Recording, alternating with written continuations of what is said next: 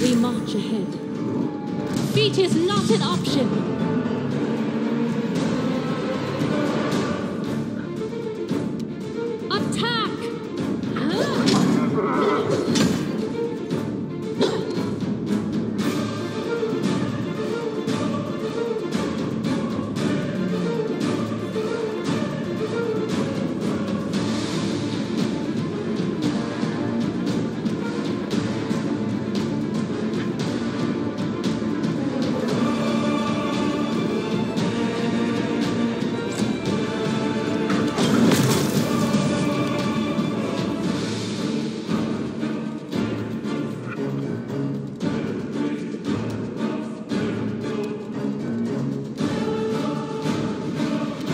we shall overcome.